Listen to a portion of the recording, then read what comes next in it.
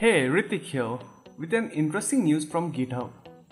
GitHub to release a CLI for all of the developer community. It's no longer in beta and I am hooked into the features it provides. Let's start with the limitation of Git. It's just a version control system, but GitHub is much more than that.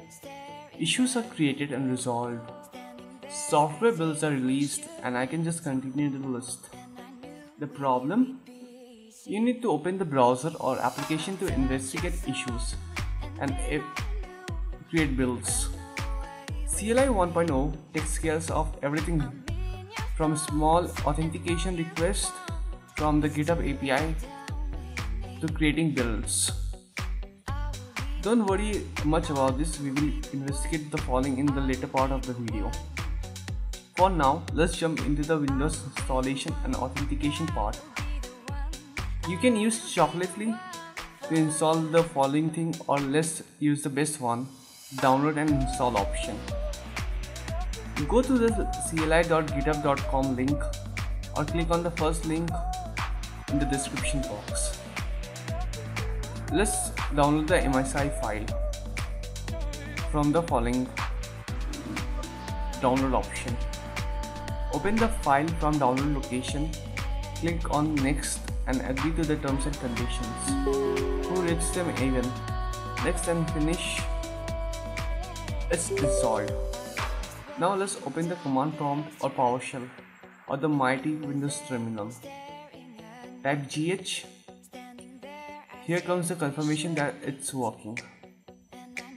The command line is working for you right now. Now let's authenticate so that we can access our accounts. Type gh auth login and press enter. Select github.com and the option and press enter. Use login with web browser, it's easy and simple from the another option.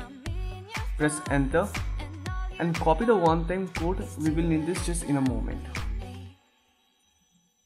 Press enter and your browser will open Sign in your GitHub if it's not already signed in and paste the code. Click on continue, authorize and re-enter the password for re-verification. Check the terminal, we are all set now. You just need to select the transfer protocol for the following steps. So I believe SSH is the best way to go always. Click enter and we are done. We are logged in right now in our GitHub account. So Let's get our hands dirty on how to use the CLI. A thought just popped into my head. Can I just get you as my subscriber? Consider this as a proposal.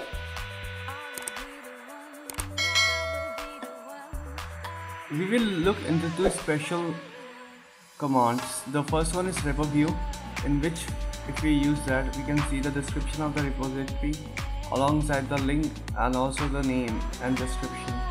This is helpful to just look and get an insight about everything happening in the repo because the markdown represents everything in the repo. Which the user wants to show.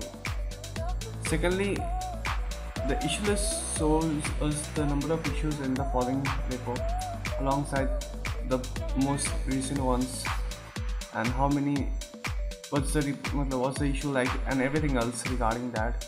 So there are many commands like that which you can just read into the documentation or I can make a video regarding that. You can just check, you can just comment the following thing then I will make a video regarding that. So the documentation is a very nice documentation, best artist speak and you can just always refer that. If you more videos like this can be created by your support, please subscribe the following channel and like and share the video to your friends. Bye bye. Thank you so much for watching this video.